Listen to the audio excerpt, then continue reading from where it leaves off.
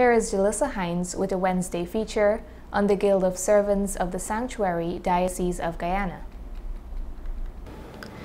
The Guild of Servants of the Sanctuary, or GSS, is an organization in the Anglican Church consisting of altar servers. The objective of the Guild of Servants of the Sanctuary is to raise the spiritual tone of altar servers, promote a diligent performance of duties, and encourage frequent attendance at the Holy Eucharist in addition to time and duty. President of the Guild of Servants of the Sanctuary Diocese of Guyana, Ryan Philadelphia, shared a little about his journey in GSS during an interview with this newscast. Started as a server at St. Paul's Anglican Church Plaisance. Started serving in 2009. Yes, I'm been a server for the past 13 years. In 2015, I was elected as the vice president of the said Guild Servants of the Sanctuary. And of lately, in 2021, December, I was elected president. On December 5, 2021, the new executive body of GSS Diocese of Guyana was installed at the St. George's Cathedral in Georgetown. The executive members are Ryan Philadelphia, President, Jeremy Braffett, Vice President, Leticia David, Secretary, Caraville Gillis, Treasurer, Rhea Smith, Assistant Secretary, Noel Suchi, Assistant Treasurer, Patrick Chase and Rochelle Williamson, Committee members. Philadelphia then highlighted the benefits of being the president of GSS. I'm elated to be the president. You know, it's given me exposure of a responsibility. It has given me the chance to be a better person, closer to God. It gives me full responsibility to focus more on altar serving and I'm a better individual. The GSS Diocese of Guyana would host several activities, which include rallies, trips, and servers summer camps.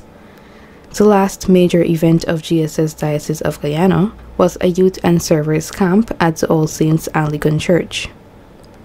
GSS also hosted activities in collaboration with other organizations in the diocese. President Philadelphia went on to disclose some of the activities GSS plans to execute this year. Our proposed activities for 2022 are Lenten Retreat, which was held today at of Transfiguration. We have a service training at St. Sweden's Freedom Hope on the 21st of May. Also, we'll be having a youth rally at the said church St. Sweden's on the 26th of June. Also, we'll be having a nativity scene later on in this year, December, at Austin House, also a concert. Altar servers originated in the 9th century when young boys assumed the role of ordained acolytes, a Greek word meaning attendant. They performed most of the functions of the former minor order of ordained clerics. Church writings from the 2nd and 3rd centuries gave the role of acolytes great importance and honor. In conclusion, Philadelphia revealed what he hopes to achieve as president of GSS Diocese of Guyana. Servers being active. I would like to see servers not only just come into the service ministry and be servers, but also take the other step to becoming lay ministers or even priests yeah, I would be looking forward to, to seeing that. Would be my personal goal to influence persons to not only be an altar server but also be a lay minister or priest, be more active in the church or in the parish.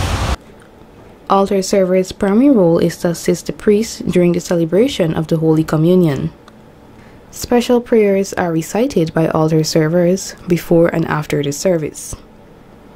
In the Anglican Church, altar servers can be male or female and can begin serving at the age of 5 years old. Serving God as an altar server is a wonderful way for a child to grow in faith as well as responsibility and friendship. Reporting for Channel 8 News, I am Jalissa Hines.